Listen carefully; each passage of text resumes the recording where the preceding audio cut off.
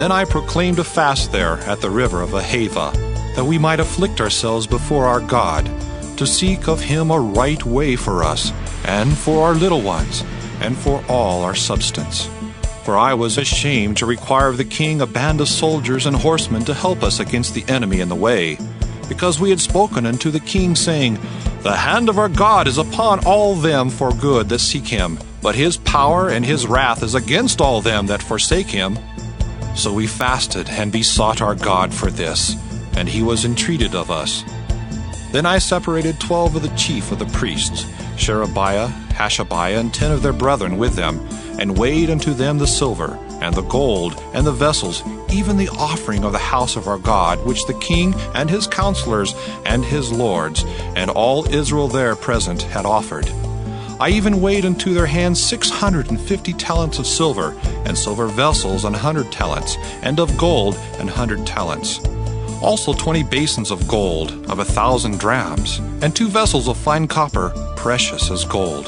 And I said unto them, Ye are holy unto the Lord. The vessels are holy also, and the silver and the gold are a free will offering unto the Lord God of your fathers. Watch ye, and keep them, until you weigh them before the chief of the priests and the Levites and the chief of the fathers of Israel at Jerusalem in the chambers of the house of the Lord. So took the priests and the Levites the weight of the silver and the gold in the vessels to bring them to Jerusalem and to the house of our God. Then we departed from the river of Ahava on the twelfth day of the first month to go unto Jerusalem.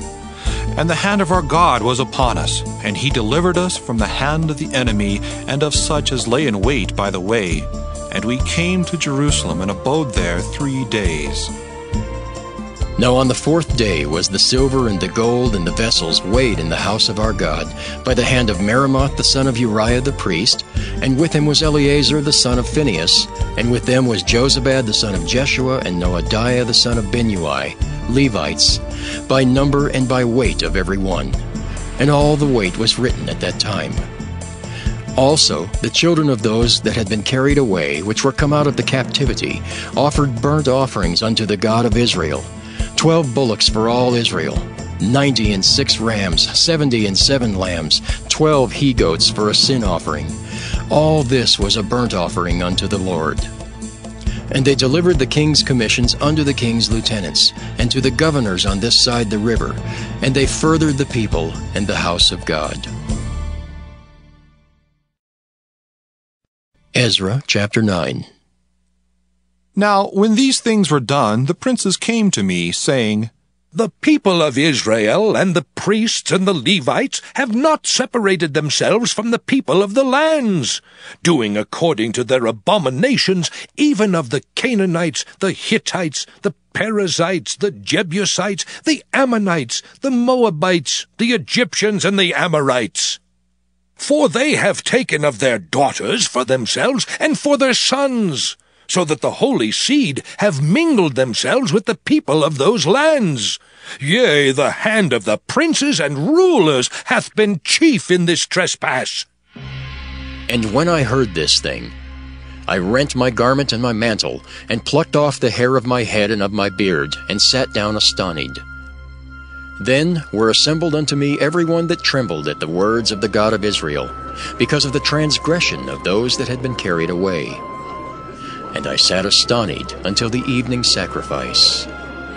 And at the evening sacrifice I arose up from my heaviness. And having rent my garment and my mantle, I fell upon my knees and spread out my hands unto the Lord my God, and said, O my God, I am ashamed and blush to lift up my face to thee, my God. For our iniquities are increased over our head, and our trespasses grown up into the heavens. Since the days of our fathers have we been in a great trespass unto this day, and for our iniquities have we, our kings and our priests, been delivered into the hands of the kings of the lands, to the sword, to captivity, and to a spoil, and to confusion of face, as it is this day. And now for a little space grace hath been showed from the Lord our God, to leave us a remnant to escape, and to give us a nail in his holy place, that our God may lighten our eyes, and give us a little reviving in our bondage. For we were bondmen, yet our God hath not forsaken us in our bondage, but hath extended mercy unto us in the sight of the kings of Persia to give us a reviving, to set up the house of our God, and to repair the desolations thereof, and to give us a wall in Judah and in Jerusalem. And now, O our God, what shall we say after this? For we have forsaken thy commandments, which thou hast commanded by thy servants the prophets, saying, the land unto which ye go to possess it is an unclean land with the filthiness of the people of the lands, with their abominations, which have filled it from one end to another with their uncleanness.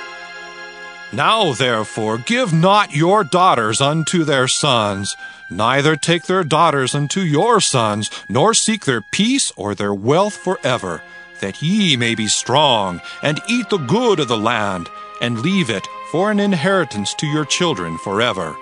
And after all that has come upon us for our evil deeds and for our great trespass, seeing that thou, our God, hast punished us less than our iniquities deserve, and hast given us such deliverance as this, should we again break thy commandments and join in affinity with the people of these abominations? Wouldst not thou be angry with us till thou hast consumed us? So that there should be no remnant nor escaping. O Lord God of Israel, thou art righteous. For we remain yet escaped, as it is this day. Behold, we are before thee in our trespasses, for we cannot stand before thee because of this. 1 Corinthians 5 it is reported commonly that there is fornication among you, and such fornication as is not so much as named among the Gentiles, that one should have his father's wife. And ye are puffed up, and have not rather mourned that he that hath done this deed might be taken away from among you. For I verily, as absent in body but present in spirit, have judged already, as though I were present, concerning him that hath so done this deed, in the name of our Lord Jesus Christ, when ye are gathered together, and my spirit, with the power of our Lord Jesus Christ, to deliver such an one unto Satan, for the destruction of the flesh, that the spirit may be saved in the day of the Lord Jesus. Your glorying is not good. Know ye not that a little leaven leaveneth the whole lump? Purge out therefore the old leaven, that ye may be a new lump, as ye are unleavened. For even Christ, our Passover, is sacrificed for us.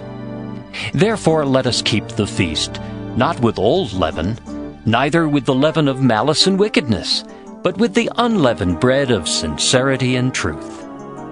I wrote unto you in an epistle not to company with fornicators yet not altogether with the fornicators of this world, or with the covetous, or extortioners, or with idolaters, for then must ye needs go out of the world. But now I have written unto you not to keep company, if any man that is called a brother be a fornicator, or covetous, or an idolater, or a railer, or a drunkard, or an extortioner, with such an one know not to eat for what have I to do to judge them also that are without? Do not ye judge them that are within? But them that are without God judgeth. Therefore put away from among yourselves that wicked person. Proverbs chapter 9 Wisdom hath builded her house. She hath hewn out her seven pillars. She hath killed her beasts. She hath mingled her wine. She hath also furnished her table. She hath sent forth her maidens. She crieth upon the highest places of the city. Whoso is simple, let him turn in hither. As for him that wanteth understanding, she saith to him, Come, eat of my bread, and drink of the wine which I have mingled. Forsake the foolish, and live, and go in the way of understanding. He that reproveth a scorner getteth to himself shame and he that rebuketh a wicked man getteth himself a blot. Reprove not a scorner, lest he hate thee. Rebuke a wise man, and he will love thee. Give instruction to a wise man, and he will be yet wiser. Teach a just man, and he will increase in learning. The fear of the Lord is the beginning of wisdom, and the knowledge of the holy is understanding. For by me thy days shall be multiplied, and the years of thy life shall be increased. If thou be wise, thou shalt be wise for thyself. But if thou scornest, thou alone shalt bear it. A foolish woman is clamorous. She is simple and knoweth nothing. For she sitteth at the door of her house, on a seat in the high places of the city, to call passengers who go right on their ways. Whoso is simple, let him turn in hither. And as for him that wanteth understanding, she saith to him, Stolen waters are sweet, and bread eaten in secret is pleasant. But he knoweth not that the dead are there, and that her guests are in the depths of hell. Psalm 41 To the Chief Musician, a Psalm of David. Blessed is he that considereth the poor. The Lord will deliver him in time of trouble. The Lord will preserve him and keep him alive, and he shall be blessed upon the earth. And thou wilt not deliver him unto the will of his enemies. The Lord will strengthen him upon the bed of languishing. Thou wilt make all his bed in his sickness. I said, Lord, be merciful unto me. Heal my soul, for I have sinned against thee. Mine enemies speak evil of me. When shall he die, and his name perish? And if he come to see me, he speaketh vanity.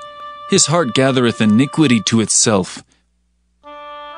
When he goeth abroad, he telleth it. All that hate me whisper together against me.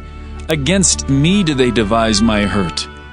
An evil disease, say they, cleaveth fast unto him, and now that he lieth, he shall rise up no more. Yea, mine own familiar friend, in whom I trusted, which did eat of my bread, hath lifted up his heel against me. But thou, O Lord, be merciful unto me, and raise me up that I may requite them. By this I know that thou favorest me, because mine enemy doth not triumph over me.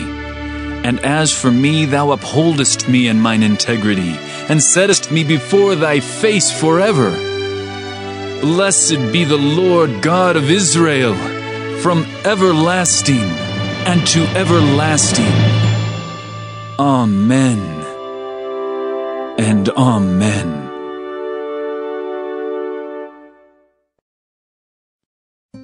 Psalm 42 To the Chief Musician, Maskil for the sons of Korah.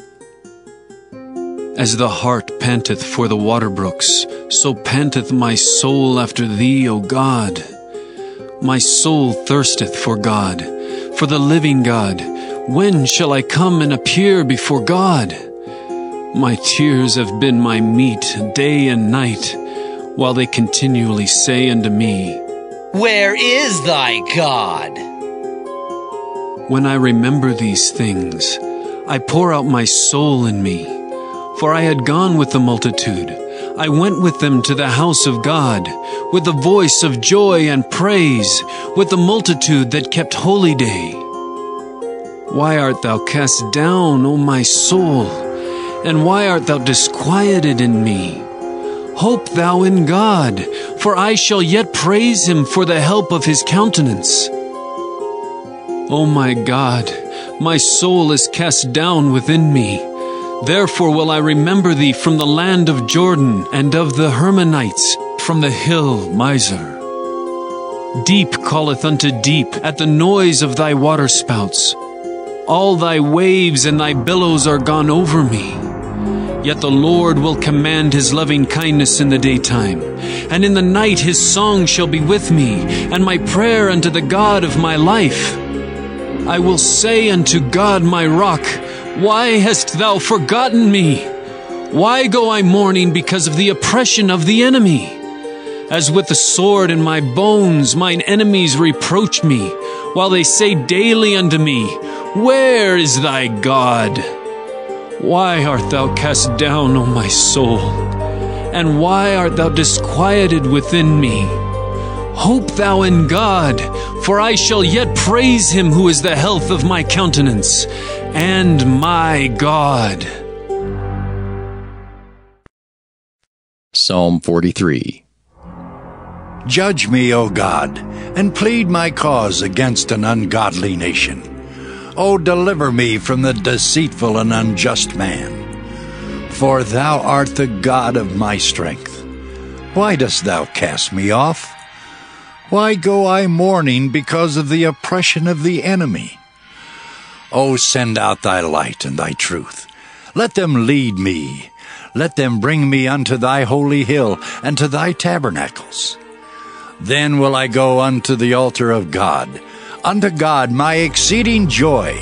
Yea, upon the harp will I praise thee, O God, my God.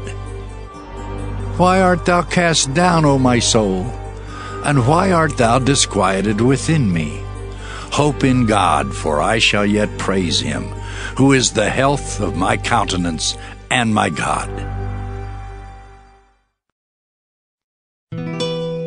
Psalm 44 to the chief musician for the sons of Korah. Maskil. We have heard with our ears, O God. Our fathers have told us what work thou didst in their days in the times of old. How thou didst drive out the heathen with thy hand, and plantedst them. How thou didst afflict the people and cast them out. For they got not the land in possession by their own sword, neither did their own arm save them, but thy right hand and thine arm, and the light of thy countenance, because thou hadst a favor unto them. Thou art my king, O God. Command deliverances for Jacob. Through thee will we push down our enemies. Through thy name will we tread them under that rise up against us. For I will not trust in my bow, neither shall my sword save me. But thou hast saved us from our enemies, and hast put them to shame that hated us. In God we boast all the day long, and praise thy name forever. Selah. But thou hast cast off and put us to shame, and goest not forth with our armies. Thou makest us to turn back from the enemy and they which hate us spoil for themselves. Thou hast given us like sheep appointed for meat, and hast scattered us among the heathen.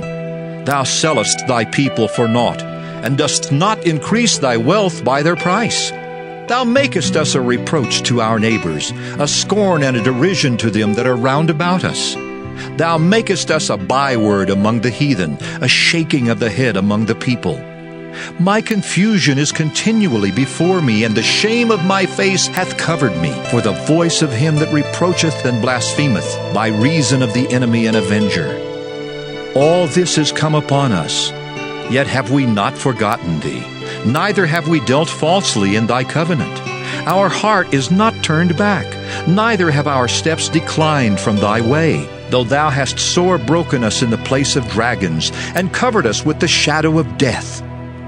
If we have forgotten the name of our God, or stretched out our hands to a strange God, shall not God search this out? For he knoweth the secrets of the heart. Yea, for thy sake are we killed all the day long. We are counted as sheep for the slaughter. Awake, why sleepest thou, O Lord? Arise, cast us not off forever. Wherefore hidest thou thy face, and forgettest our affliction and our oppression? For our soul is bowed down to the dust, our belly cleaveth unto the earth. Arise for our help, and redeem us for thy mercy's sake. Psalm 45 To the chief musician upon Shoshannim for the sons of Korah, Maskil, a song of loves. My heart is inditing a good matter. I speak of the things which I have made touching the king. My tongue is the pen of a ready writer. Thou art fairer than the children of men. Grace is poured into thy lips. Therefore God hath blessed thee forever. Gird thy sword upon thy thigh, O most mighty, with thy glory and thy majesty. And in thy majesty ride prosperously because of truth and meekness and righteousness. And thy right hand shall teach thee terrible things. Thine arrows are sharp in the heart of the king's enemies, whereby the people fall under thee. Thy throne, O God, is for ever and ever. The scepter of thy kingdom is a right scepter. Thou lovest righteousness and hatest wickedness. Therefore God, thy God, hath anointed thee with the oil of gladness above thy fellows. All thy garments smell of myrrh and aloes and cassia, out of the ivory palaces whereby they have made thee glad. King's daughters were among thy honorable women. Upon thy right hand did stand the queen, in gold of Ophir. Hearken, O daughter, and consider, and incline thine ear. Forget also thine own people and thy father's house. So shall the king greatly desire thy beauty, for he is thy Lord, and worship thou him. And the daughter of Tyre shall be there with a gift. Even the rich among the people shall entreat thy favor. The king's daughter is all glorious within. Her clothing is of wrought gold. She shall be brought unto the king in raiment of needlework. The virgins, her companions that follow her, shall be brought unto thee. With gladness and rejoicing shall they be brought. They shall enter into the king's palace. Instead of thy fathers shall be thy children, whom thou mayest make princes in all the earth. I will make thy name to be remembered in all generations. Therefore shall the people praise thee forever and ever.